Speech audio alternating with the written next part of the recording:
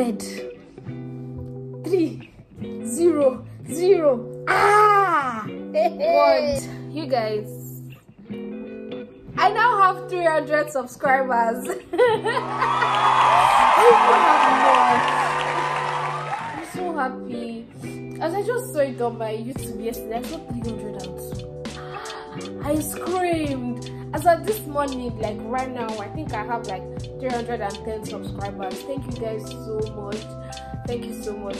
I really appreciate so um i said i was going to make another video today on how i applied for my study permit and got it. So let's go right into the video. So i'm going to be telling you my own process note that because before when i was doing my own when i was processing my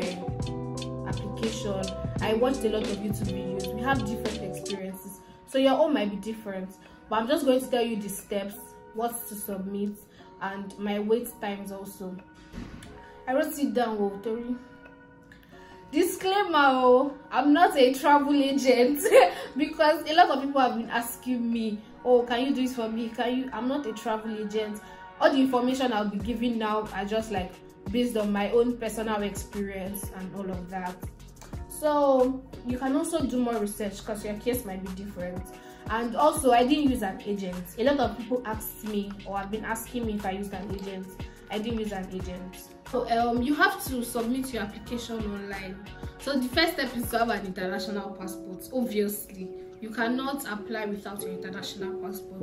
And if you know that your international passport is going to expire soon like maybe two years three years and your course is like longer maybe like four years it's better for you to renew your passport because they won't grant your study permits to exceed the day your passport will expire. Do you get like if your passport is expiring 2026 and your program is supposed to end 2027 on your study permit they would write that you have to leave canada by 2026 but i think when you renew your passport that can be rectified. That's not a big issue but it's better your passport is renewed. So first you have to get an admission. You have to get admission into a school in canada. So you can choose to either go to a college or a university. Depending on the course you want to study um your funds like the money you have. Because i think college is still like a bit cheaper than university. The difference might not be too much it might be too much i don't know because i'm going to a university not a college. So you have to apply and please when you're applying to any school in canada college or university make sure that it is a dli designated learning institute and that they offer pgwp postgraduate work permits so that you will be able to use your your so you'll be able to work basically after your school or during your school and all of that. So you can check online you can check um ircc website or you can just check google like list of designated learning institutes in canada then you apply to such a school. Then you submit your online application. So there are some documents that they will ask for like your statement of purpose your proof of funds. If you just finished from high school and you want to and no this one now is for to start the application like after you get your admission. You can choose to get your admission before you apply for your visa or before but i got my admission before i applied for my visa. So if you just graduated from high school like secondary school you can use your WAEC. check if your school does not need a um, IELTS my school did not use IELTS so I used my WAEC to that's why I submitted for my admission. So for your online application there are several documents that you are going to submit. There are documents that are required for you to submit and if you want to add any other supporting documents that you feel can help your application you can add like your statement of purpose. So your statement of purpose is basically a letter explaining your intent to study in canada and why okay your intent why they should grant you your study visa. So when you are writing your statement of purpose i wrote my statement of purpose myself my sop some people call it letter of explanation anyone so i wrote my own myself. So if you want me to put like um how i wrote it you can let me know in the comment section. So maybe i'll make a separate video for that one you make sure you put maybe family ties or something. So next you go for biometrics. So i'm also in this video i'm also going to be telling you my wait times because some people have been asking that oh how long did it take me to get my visa? So i got my visa in i don't know if i should say two months or three months. That's because i applied in january january 13th they got back to me april i think april 6th or so but the whole of march i didn't hear anything. April 6th that was when they asked for my passport. The whole of march i didn't hear anything from ircc you guys. I could not sleep. Come and see me the middle of the night. I wake up to be checking my website be my portal. I mean now ah god. Guys that period the calendar ah what showed me showed me shaky i'll wake up in the night. I'll, I'll be praying eh pray you know normal normal now you pray but you know when you want something now you guys don't pray to god when you want i don't do it don't do it ah the prayer was times one million when i'm working on the god please I've been seeing, I will see a lot of TikTok videos, YouTube videos, people have traveled. like, God, please, this is what I want. God, please do it for me. And when it eventually happened, I wasn't even expecting it. So let's go back to the video. You will get a, a message on your portal. Always check your IRCC portal, that GCKey portal. Always check it. So they I went for my biometrics. Sorry, oh, I wrote it though. I've forgotten the date I went for my okay, I went for my biometrics January 16th. That was when I went for my biometrics. So when I went for my biometrics, after that, they called me for um medical exam. They said I should go for my medical exam. So they told me to go, like they sent the letter January 28th. And I think you have one month after the letter comes in for you to do it. This was where another problem now came in. Not a problem, but another issue now came in. So I wanted to do it at IOM because I'm from Lagos. I was living in Lagos. I wanted to do it at IOM Ikeja. I booked and everything. They gave me. When did they give me? I think they gave me February 20 something. And I was like, oh my god, that's too far. So I sha requested for emergency something. They now okay, they didn't answer me on time so I now did Q Life.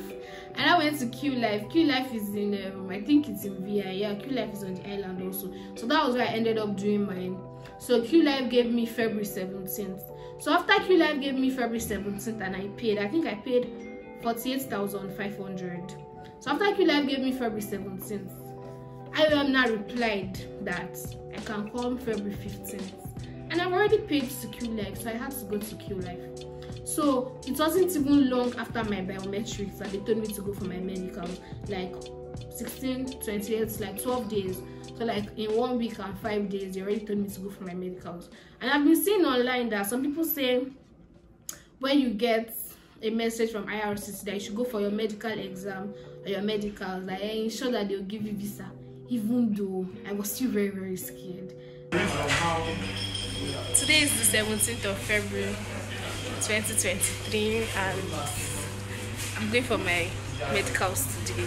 I've even gone to the place of my medicals but my appointment is for 9.30 so they said I should come back by like 8 8.30 and I got there really early.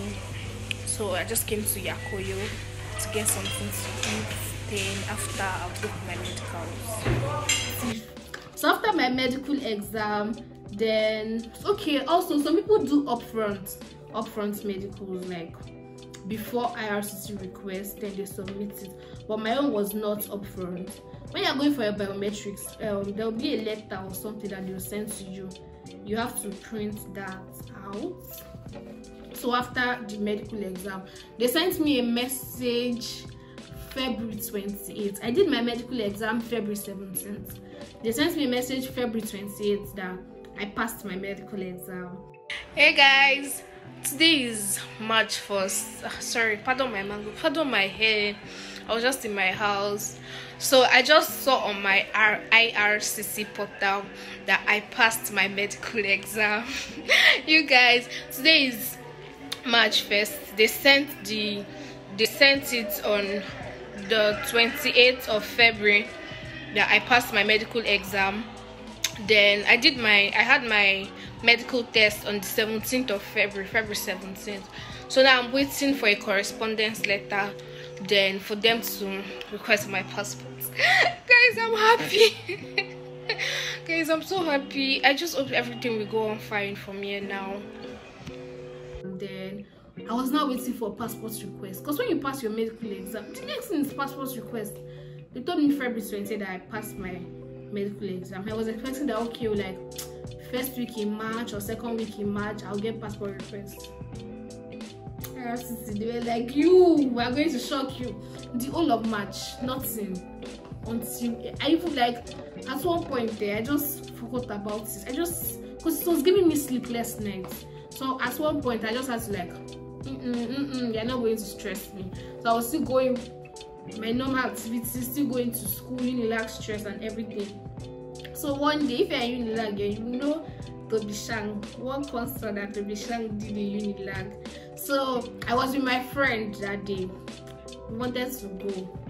I just saw a, a mail from IRCC and I was like in public, but I shall open the mail and I logged into my website and I saw passport request, you guys. I screamed.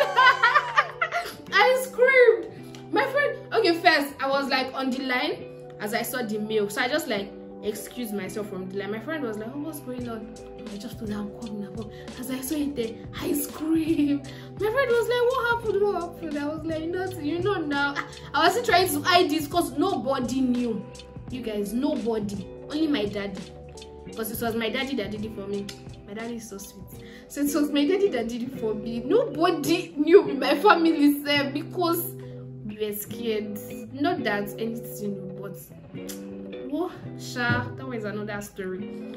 So i sha got a passport request to april 5 yeah. Guys i just got my passport request for my canadian visa guys should shout. You,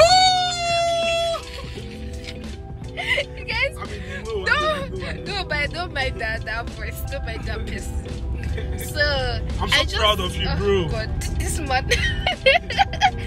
so I just received a mail and I was really, really scared to open it.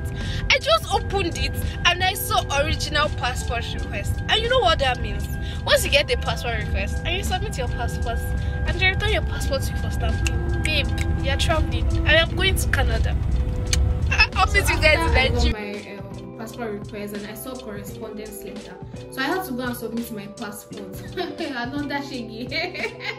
Another because when I got to um, VFS Global to submit my passport, they now said a new rule just came out though. I don't know how. They said the rule just started, I think yesterday. I mean, I didn't see it on their website normally if you are coming to submit your passport it doesn't take time. You just enter submit and then go.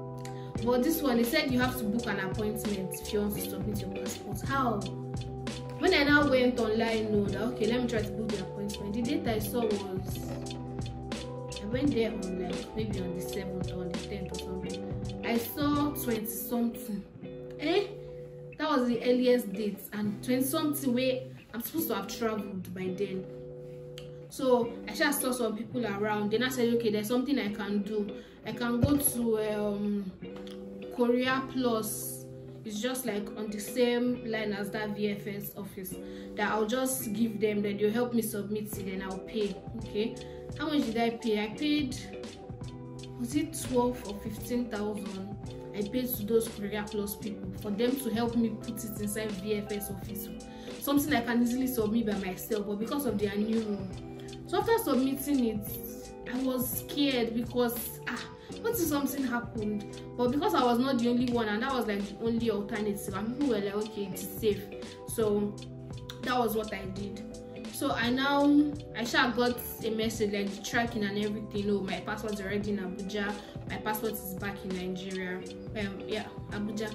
Back in lagos. Sorry my passport is back in lagos so when it was now time to go and pick my passport they told me my passport was ready to come to be picked sabi for pickup. So i went there. So you can choose to use um Courier i think it's 18,000 something. But i went there to pick it up myself and it didn't even take time.